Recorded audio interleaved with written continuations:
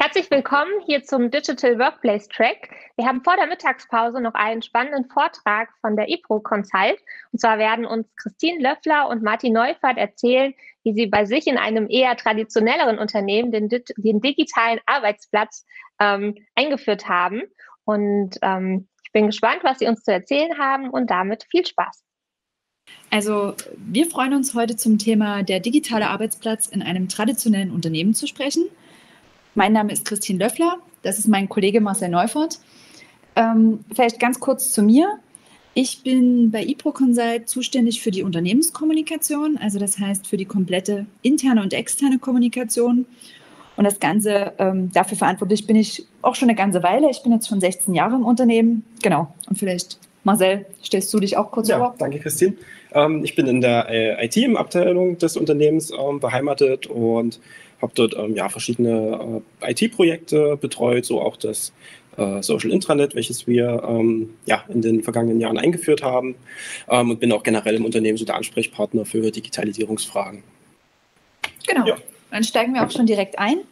Ähm, wir wollen als erstes ganz kurz das Unternehmen IPRO-Consult vorstellen und dann auch schon in unsere Reise hin zum digitalen Arbeitsplatz hineintauchen und kurz erläutern, an welchem Punkt wir stehen, wie wir da hingekommen sind, was wir für Dinge angewandt haben, um dahin zu kommen, geben dann auch ganz konkret Einblicke in unser System und auch einen kurzen Ausblick, was wir in naher Zukunft ähm, noch so geplant haben.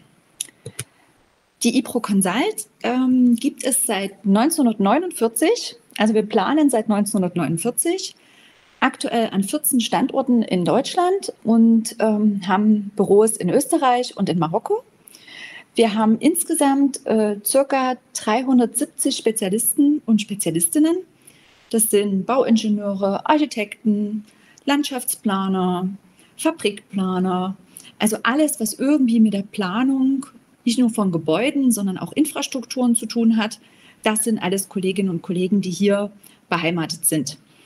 Jährlich sind es so über 150 Projekte, die ähm, von uns geplant werden und vielleicht noch ein bisschen konkreter. Man sieht hier auch die Deutschlandkarte. Ähm, unsere Standorte sind sehr breit verteilt. Der Hauptsitz ist in Dresden. Ähm, und wir haben Standorte, die etwas kleiner sind, mit so sechs, sieben, acht Kolleginnen und Kollegen. Wir haben aber auch größere Standorte mit 30 Kollegen. Und wir sind ähm, strukturiert in drei Geschäftsbereiche. Das ist einmal der Bereich Architektur und Hochbau. Da werden so all die Sachen geplant, die man sich vorstellt, die irgendwie ein Gebäude beinhalten, sowohl von der Architektur als auch von der technischen Ausrüstung, also Schulen, Hotels, alles, was dazugehört.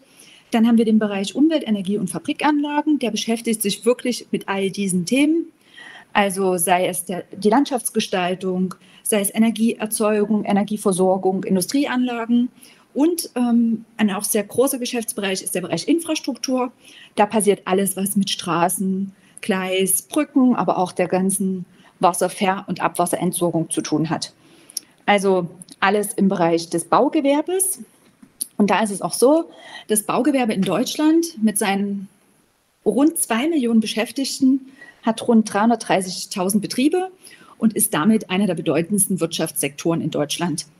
Aber es ist auch ein sehr traditioneller ja, Bereich, denn es ist so, dass über 52 Prozent der Unternehmen aus dieser Branche ähm, überhaupt keine Notwendigkeit sehen, Digitalisierungsprojekte im Unternehmen einzuführen. Und da ist es bei uns schon etwas besser, dass es die Bereitschaft gibt, dank unserer IT, dank unserer Geschäftsführung, die den ganzen Themen sehr, sehr offen gegenübersteht. Und deshalb will ich auch kurz da eingehen, wie die Reise hin zu unserem digitalen Arbeitsplatz aktuell verläuft, welche Wege wir gegangen sind.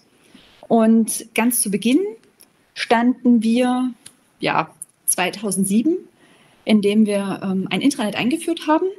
Das wurde durch unsere IT eingeführt. Die Mitarbeiter wurden nicht gefragt, was sie brauchen, sondern ein Kollege aus der IT hat ein System entdeckt von dem er dachte, dass das gut funktionieren kann. Und so kam es in unser System, äh, in unser Unternehmen. Und es war aber der Wunsch der Mitarbeiter, dass sie sich schon andere Informationen wünschten. Denn ähm, das System war sehr auf die Dresdner Kolleginnen und Kollegen ausgerichtet und alle von anderen Standorten haben da Informationen gefunden, die für sie nicht so relevant waren oder also die sie wirklich einfach nicht interessiert haben. Oder es war auch so, ähm, dass das ganze System nur von ein, zwei Redakteuren gepflegt werden konnte, es keine Interaktionsmöglichkeiten gab, man konnte kein Gefällt mir drücken, keinen Kommentar abgeben. Also es war wirklich eine reine Top-Down-Kommunikation. Und das war natürlich nicht mehr 2017 dann nicht mehr so attraktiv. Also haben wir gesagt, okay, wir ähm, brauchen ein neues System. Inzwischen war ja das Intranet schon zehn Jahre alt. Und auch 2017 war es natürlich schon so, dass es relativ viele Systeme auf dem Markt gab. Wir als Unternehmenskommunikation und IT vor der Herausforderung standen, welches System ist das Richtige für uns, was brauchen wir und haben da ähm, uns Unterstützung geholt von Real Experts. Die haben uns ähm, auf dem Weg begleitet, was für uns das richtige System ist. Und wir haben da zunächst eine Anforderungsanalyse gemacht, haben geschaut, was sind so Ziele und Anforderungen der Mitarbeiter, aber auch der Unternehmensleitung und haben da geschaut, okay, was wollen wir denn mit diesem System? Wir haben ein paar Ziele definiert, unter anderem das neue Intranet hilft uns noch besser und effizienter zusammenzuarbeiten. Wir schaffen eine Plattform, auf der wir unser Wissen bündeln. Wir finden in dem neuen System schnell alle Informationen und Dokumente, die wir für die tägliche Arbeit benötigen. In dem, über das Social Intranet erhalten die Mitarbeiter wichtige Informationen der Unternehmensleitung. Der Austausch ähm, zu den Projekten findet nur noch in den jeweiligen Projektgruppen statt und ähm, damit auch jeder Mitarbeiter auf dem aktuellen Stand ist. Also unser Ziel war schon, dass alle Informationen, die ein Mitarbeiter braucht, dass er diese über unser Intranet bekommt. Und nachdem wir evaluiert haben, welches System das Richtige wäre und wir auch noch die Anforderungen durch unsere QM-Abteilung hatten, dass alle Prozesse in dem System mit abgebildet werden sollen, fiel letztendlich die Entscheidung auf Confluence und Lynchpin. Und wir haben uns entschieden, dass das für uns das beste System ist. Wir haben dann direkt ähm, im Februar 2018 unsere Mitarbeiter auch ähm, mitgenommen, haben geschaut, okay, was wollt ihr, was braucht ihr? Und haben deshalb mit ähm, Kollegen aus ganz unterschiedlichen Fachrichtungen, von unterschiedlichen Standorten, in unterschiedlichen Positionen gesprochen und haben versucht herauszufinden, was sie täglich brauchen und ein ganz, ganz wichtiger Punkt irgendwie durch die Bank weg war bei den Kolleginnen und Kollegen, immer den aktuellen Speiseplan zu finden. Also ja, so lustig es klingt, das ist das, was die Kollegen auch immer wieder sehen und wo sie auch sofort merken, wenn der mal nicht aktuell ist. So eine Anforderung haben wir natürlich auch aufgenommen und haben dann geschaut, wie wir welche Inhalte am besten in ähm, unser Intranet bringen. Und das war auch wirklich ein guter Schritt, die Kolleginnen und Kollegen direkt mitzunehmen denn die waren dann auch immer wieder Botschafter für das System, konnten dann anderen Kolleginnen und Kollegen auch Sachen erklären. Und deshalb war dieser Schritt auch wirklich ein, wie wir finden, sehr, sehr guter für uns. Ähm, ein Punkt, bevor wir das System auch wirklich eingeführt haben, war zu sagen, okay, was wäre denn ein möglicher Name? Also haben wir im März 2018 einen Namenswettbewerb ausgelobt die Kolleginnen und Kollegen konnten Namen einreichen, die sie sich für unser System vorstellen konnten. Und dann äh, wurde abgestimmt, welcher wirklich der Favoritenname ist. Und es ist jetzt kein außergewöhnlicher Name. Es ist dann schließlich das IPRONET geworden. Dafür haben wir dann auch noch ein Logo entwickelt. Und so war es, dass wir am 1. April ähm, 2018 unser IPRONET einführen konnten. Unser Geschäftsführer Lutz Junge war auch so nett und hat in einem Willkommensvideo alle Mitarbeiterinnen und Mitarbeiter im System begrüßt, hat nochmal gesagt, wie wichtig das ist, dass wir auch auf dem Weg gut zusammenarbeiten, dass alle gerne die Dinge ausprobieren sollen, die es im System gibt. Hat auch nochmal mit erwähnt, ähm, dass Fragen immer willkommen sind.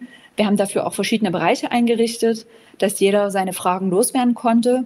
Und das war auch ein schöner Einstieg ins System, man hat das erste Mal aufgerufen und wurde direkt von einem Video unseres Geschäftsführers begrüßt, der das System auch sehr unterstützt hat und damit schon den Weg relativ gut für uns geebnet hat.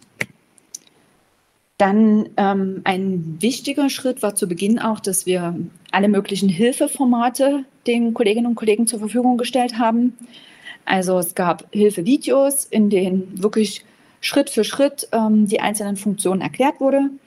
Marcel Neufert war auch so nett und hat die Kollegen in Videokonferenzen geschult, hat denen genau gezeigt, wie irgendwas funktioniert, wie sie einen Blogartikel anlegen, ähm, ja, all die Dinge, wie die Suche funktioniert, wie sie ihr Profil pflegen können. Das waren so die wichtigen Dinge. Und ansonsten ist es auch so, dass wir bei uns im System immer eine Anleitungsseite haben, wo man immer wieder Sachen nachlesen kann.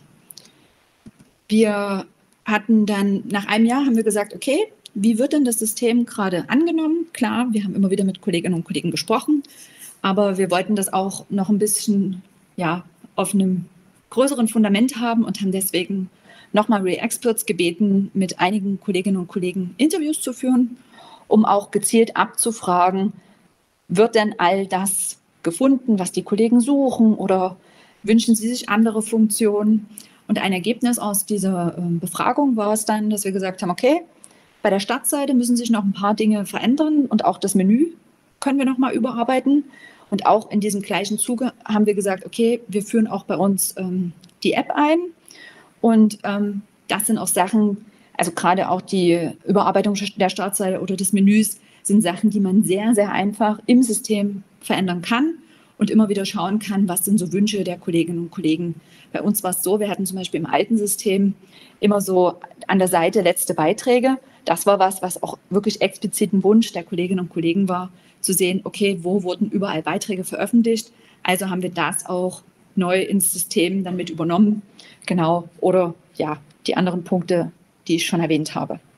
Und um auch wirklich das jetzt noch ein bisschen plastischer darzustellen, ähm, gehen wir auch jetzt direkt mal in unser System. Also ich übergebe jetzt an meinen Kollegen Marcel, der direkt im System Einblicke gibt und die eine oder andere Funktion erläutert. Ja, vielen Dank, Christine.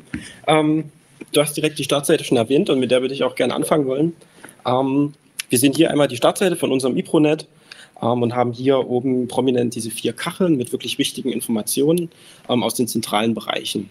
Das heißt, die Abteilung Unternehmenskommunikation, die IT, der Einkauf, das Personalwesen, Qualitätsmanagement ähm, kann hier Nachrichten posten, die wirklich für alle Mitarbeiter ähm, eine Relevanz haben.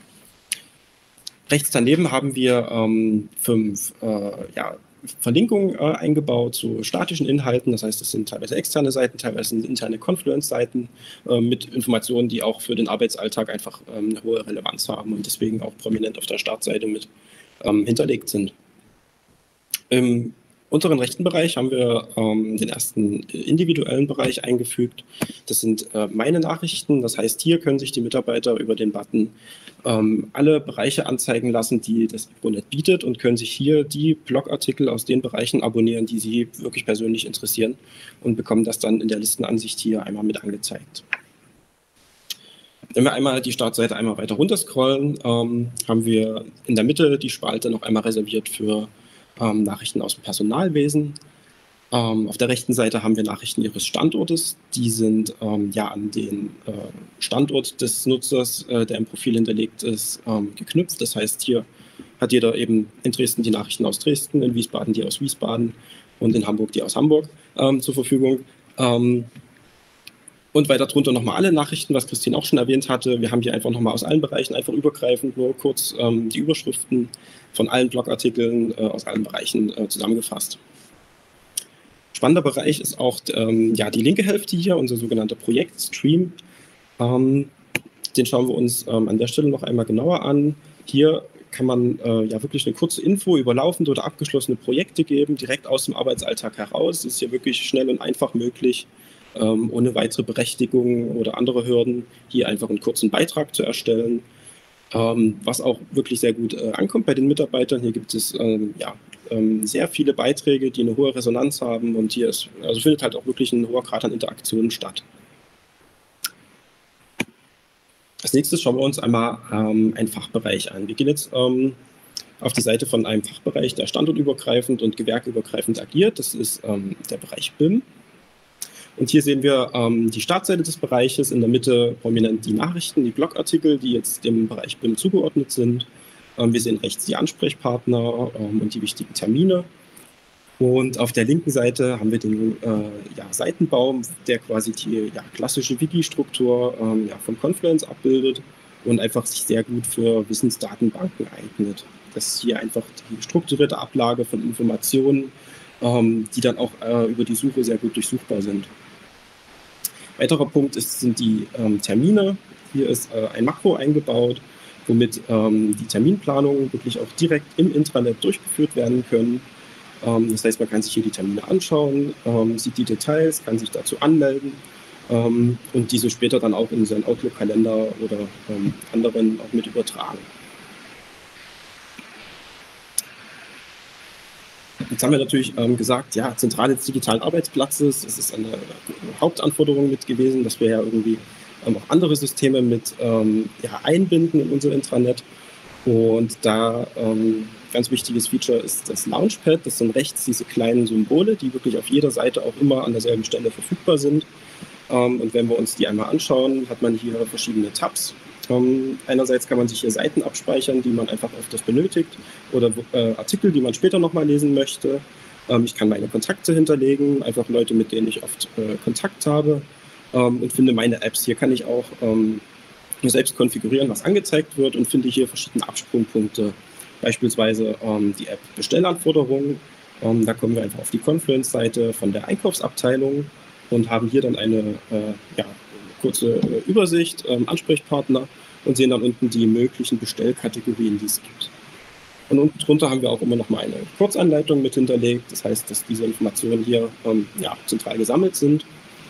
Und jetzt schauen wir uns das einmal an. Wenn wir beispielsweise ähm, neue IT-Hardware brauchen, ähm, wählen wir dann die Kategorie ähm, IT-Hardware aus und ähm, werden direkt ähm, ja, in den angeschlossenen Jira Service Desk verknüpft und können dann hier die ähm, Bestellung in Form von einem Ticket ähm, auslösen. Weiter geht dann der Prozess natürlich dann im Jira Service Desk, wo dann der Einkauf ähm, Zugriff hat und die Bestellung weiterhin bearbeitet. Eine weitere Verknüpfung, die wir auch mit ähm, in unserem EPRONet eingebaut haben, ähm, ist zum SharePoint Online. Ähm, beispielsweise, ähm, wenn ich jetzt äh, Informationen zu unseren Referenzprojekten suche, ähm, nehme ich einfach einmal die äh, ja, globale Suche zur Hand, ähm, gebe ich die Referenzen ein und komme auch direkt ähm, auf die Seite, wo die Referenzblätter hinterlegt sind und habe dann hier wieder ähm, ja, allgemeine Informationen zum Prozess, Anleitung zur Bedienung ähm, und den Absprungpunkt natürlich die Verlinkung zum SharePoint Online, wo dann die Daten tatsächlich liegen und downloadbar sind. Das heißt, die Kernfunktionalität an der Stelle liegt hier halt an dem externen System, in SharePoint Online oder wie auch gerade eben gesehen ähm, im Jira Service Desk, aber die Informationen rundherum, die sind im IPRONET zu finden. Und das ist erstmal die erste Anlaufstelle, zumindest wenn man auch nicht weiß, wo jetzt genau die Informationen liegen. Last but not least, natürlich eine Kernfunktionalität ähm, eines Social Intranets sind natürlich die Profile. Und da ähm, ja, rufe ich einmal ähm, ein Profil auf. Ähm, und wir sehen hier auf der linken Seite direkt diese allgemeinen Felder die ähm, ja aus dem Active Directory synchronisiert werden. Und wir haben aber auch auf der rechten Seite individuelle Felder, Expertise und Fachwissen und Interessen und Hobbys. Diese Felder können von jedem selbst editiert werden und auch freiwillig ähm, befüllt werden. Und diese ganzen Kompetenzen sind auch durchsuchbar. Das heißt, wenn ich jetzt zum Beispiel jemanden suche, ähm, der sich mit Typo 3 auskennt, gebe ich einfach die Kompetenz Typo 3 in der Suche ein und da kommt direkt die ja, Christine als Ergebnis ähm, ich kann draufklicken und habe direkt ihr Profil aufgerufen und kann ja, sie per Mail, Telefon ähm, oder persönlich in ihrem Zimmer ähm, kontaktieren. Genau. Das soll es ähm, an der Stelle auch erst einmal ähm, mit den Einblicken direkt in unser System ähm, gewesen sein. Jetzt stehen wir natürlich vor der Herausforderung, ja, diese Zentrale des digitalen Arbeitsplatzes weiter auszubauen. Das ist natürlich einerseits der Punkt, wir wollen das Ganze tiefer integrieren. Das heißt, ähm, Office, Microsoft 365 ist da zum Beispiel gerade ein, ein wirklich äh, großer Schwerpunkt. Ähm, da sind wir dabei, das gerade zu prüfen, inwieweit ist es sinnvoll, das überhaupt zu integrieren, welche technischen Möglichkeiten gibt es da und wie gut oder schlecht äh, funktionieren diese aktuell. Ähm, und damit einhergehend dann auch die Ausbau des unseres IPRO-Netz ähm, hin zu einer Projektplattform, für auch unsere operativen Bauvorhaben und unsere Planungsprojekte, dass wir da wirklich eine zentrale Austauschstelle für Informationen haben ähm, wo einfach alles gebündelt an einem Ort liegt und dann die Absprungpunkte noch tiefer integriert werden in die äh, anderen Systeme. Anderes Projekt, was wir intern ähm, auch noch angehen mit dem Personalwesen, ist der Onboarding-Prozess für neue Mitarbeiter. Ähm, hier wollen wir quasi einen kleinen Leitfaden ähm, ja, den Mitarbeitern an die Hand geben in Form von einer Checkliste, die man einfach abarbeiten muss für neue Mitarbeiter, die kommen. Zum Beispiel den Kuchen backen für das Team, ähm, sodass dann ähm, ja, jeder Mitarbeiter auch einen Mentor an, der Hand bekommt, an die Hand bekommt ähm, und diese Checkliste einfach abgearbeitet werden kann und jeder auch immer über den aktuellen Status da ähm, informiert ist. Ja, Christine. So, das ähm, vielleicht nochmal zusammenfassend. Ähm, wir sind ein Unternehmen, was es schon über 70 Jahre gibt. Wir sind jetzt nicht das klassische agile Unternehmen und trotzdem haben wir es geschafft, bei unserem System ein Intranet einzuführen, das auch ähm, gut genutzt wird. Sehr gut würde ich jetzt nicht sagen, weil es gibt immer noch ähm, Potenzial nach oben, dass die Kolleginnen und Kollegen da noch aktiver werden. Für uns war auch äh, so ein Aha-Erlebnis, dass wir gemerkt haben, es ist immer wieder gut, Kolleginnen und Kollegen auch direkt mit an die Hand zu nehmen, so nenne ich es einfach mal. Wenn man Kollegen hat, die vielleicht nicht so affin sind mit allen, ähm, ich sage mal, neuen Medien oder neuen Programmen oder wie auch immer, war es für uns immer schön, den Kollegen einfach direkt zu zeigen, wie irgendwas funktioniert und dann hat man schnell die Begeisterung geweckt. Also für mich ist es immer wieder der Projekt Stream, vor dem erstmal viele Angst haben, die gesagt haben, okay, naja, was jetzt, es dauert doch jetzt ewig, bis ich hier mein Projekt reingestellt habe. Wenn sie dann aber das einmal gemacht haben und sehen, dass es wirklich keine fünf Minuten dauert, indem sie einfach ihr Projekt vorstellen können und wenn dann die ähm, Kolleginnen oder Kollegen merken, wie die anderen Kollegen gefällt mir drücken oder einen Kommentar abgeben, sind sie gleich wieder viel begeisterter dabei und nutzen das System natürlich intensiver. Also das vielleicht nur so noch als kleiner Hinweis. Ansonsten stehen wir gern für Fragen zur Verfügung. Wir haben hier auf der Seite unsere Kontaktdaten, sind gern per Telefon zu erreichen, per E-Mail oder auch äh, über LinkedIn. Also je nachdem, was wie gewollt ist. Kommt wir freuen uns, uns in Kontakt. Wir freuen uns auf den Austausch. Genau. Und, und vielen Dank. Dankeschön.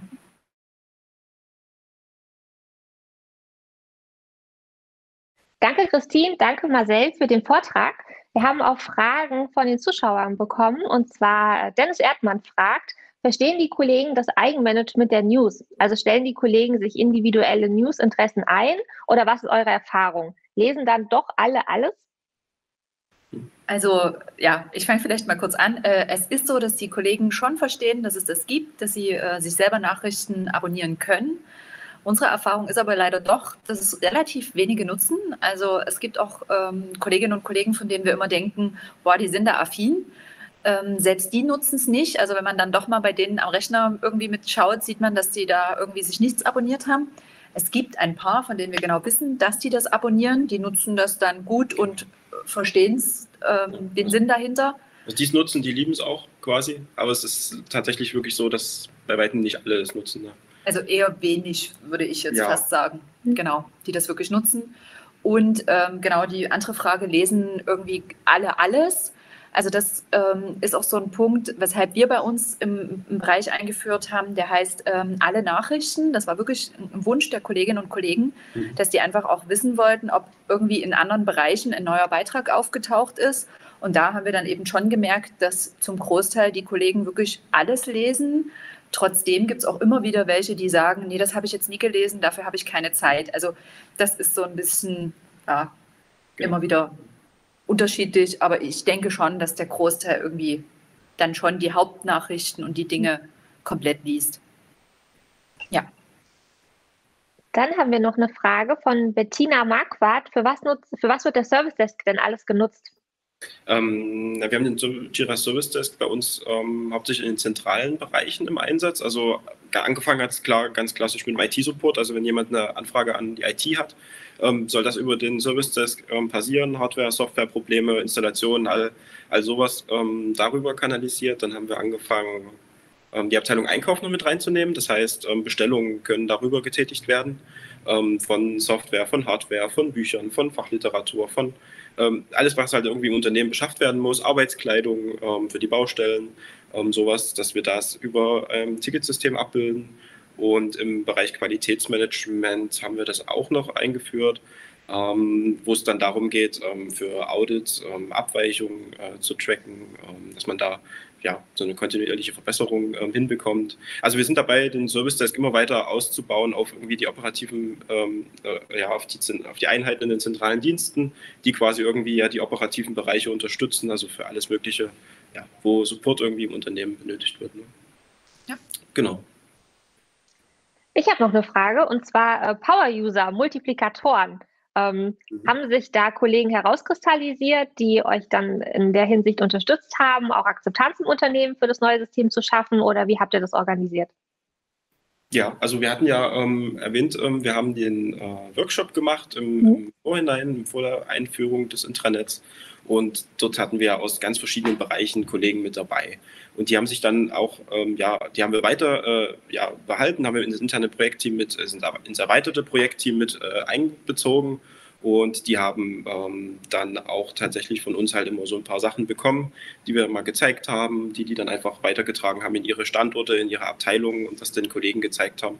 Also da haben sich einige rauskristallisiert. Ähm, aber es gab auch im Nachgang dann wiederum Kolleginnen und Kollegen, die vielleicht bei dem Workshop nicht dabei waren, mhm. die aber dann irgendwie größeres Interesse gezeigt haben. Und da hat man schon gemerkt, wenn man die einfach irgendwie mitgenommen hat, denen Sachen erklärt hat, haben die das wirklich auch gut weitergetragen. Also das ähm, haben wir auch immer wieder gemerkt, so dieser direkte Kontakt und ähm, Kollegen was zeigen, dass das nochmal das Ganze wirklich unterstützt hat, als, als einfach nur im IPRONET zu zeigen, guckt, ihr könnt das so und so machen.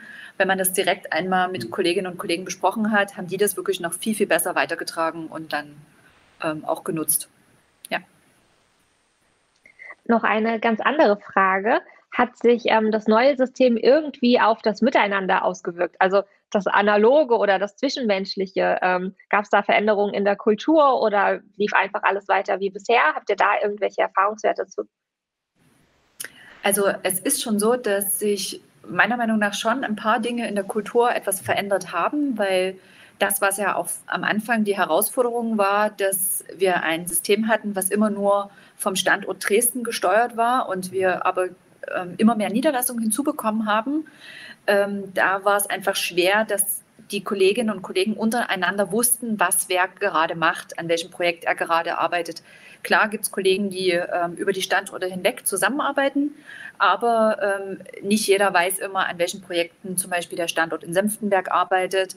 Und damit haben wir, dadurch, dass wir den Projektstream eingeführt haben, das war ja auch was, was wir gezeigt mhm. haben, dass einfach jeder Kollege, jede Kollegin kurz äh, ein Projekt posten kann und einfach zeigen kann, guckt, wir haben gerade das Projekt fertiggestellt oder hier war gerade eine Bauabnahme oder dies oder das.